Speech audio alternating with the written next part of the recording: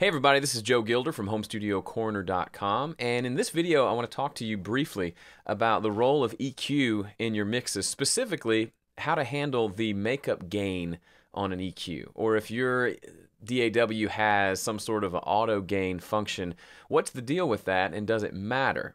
And I think it's a hugely important tool and I've started using it in my mixes and it's really, really, really, really helpful. So hopefully this video will give you some things to try uh, that'll make your EQing even more effective than it already is. So real quickly, let's uh, look into Studio One here. This is Studio One from PreSonus, and let's take a listen to the track we've got pulled up.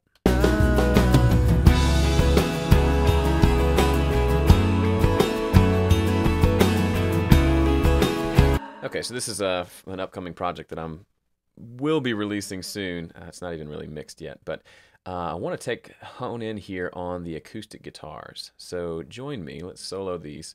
Just a pair of stereo acoustic, um, two separate passes doubled, and let's just take a listen to that, see what that sounds like by itself.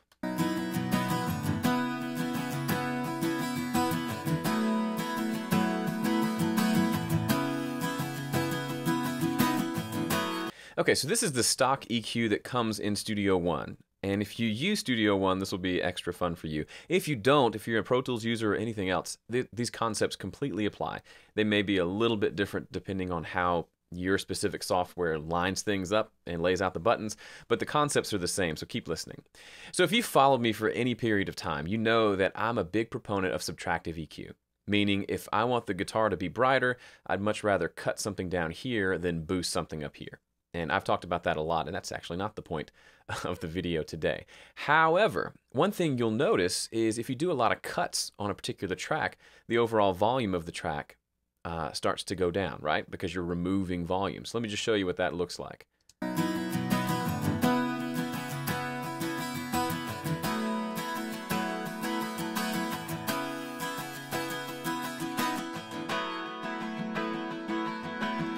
Okay, that's a stupid example, but look over here at this meter here and notice how when I disengage the EQ, the signal's a fair amount louder.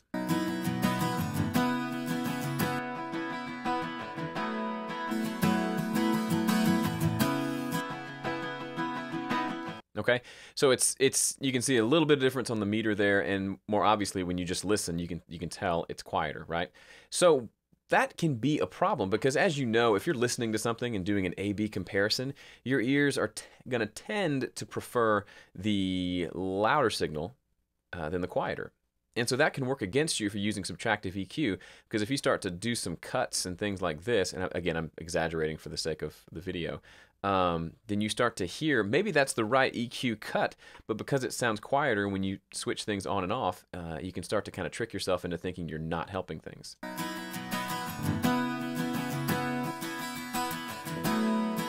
Because the other one is so much louder. The solution for that is uh, something that's been in EQs forever is simply a makeup gain. So as you turn things down, you come over to this gain button and just turn it back up to match the volume.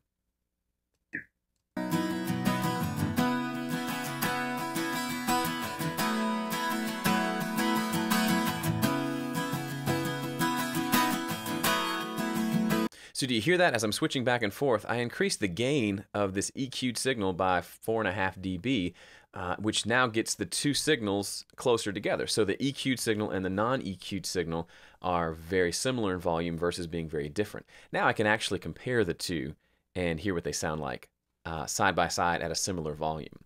Now the problem with this is nobody wants to do an EQ move and then go adjust this and flip back and forth to make sure they're the same volume. Some EQs give you an input and an output meter, which is nice. You can kind of visually adjust the output gain, but even then it's still a manual adjustment, which is kind of annoying. So if you if your system has this auto button right here, I definitely recommend you trying it out. Now, if you don't, then you'll have to do it manually, and it's still worth doing. Uh, but if it does, if you use Studio One or have a system that does automatic volume control, this is a huge, huge feature. What it essentially does is it disables the gain button or the gain knob, and it makes it to where all adjustments you make are automatically adjusted here. So listen to this uh, guitar as I as I boost as I do a big cut. Listen to how the volume stays very much the same, uh, even though I'm taking away big pieces of the audio.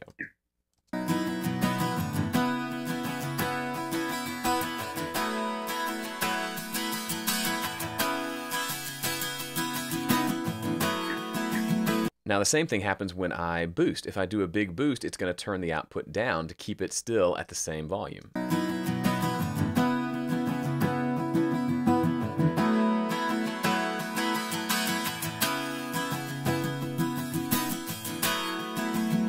See, that's just crazy awesome. Listen to the difference. If I do that again without auto on, and I'm just listening to the to the track, listen to how the different levels and volume that come out.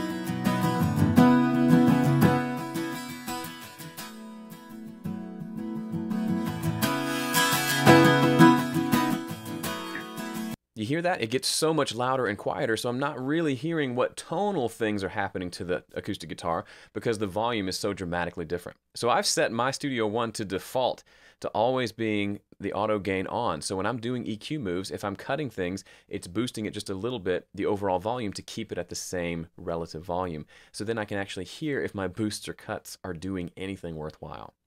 So go back into your DAW the next time you're at your studio, pull up a track and just play around with this. See if you have an automatic gain uh, feature, or if not, see if it makes sense to you to start using that gain knob to level match your input and your output gains of your EQs. And I, I promise you, it'll work wonders for you as you're working on a mix. For more tips like this, head over to homestudiocorner.com slash newsletter.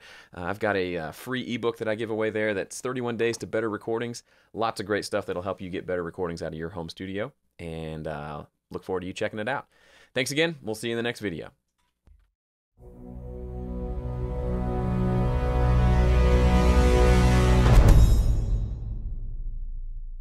And I can't talk today. Breaker, breaker, breaker.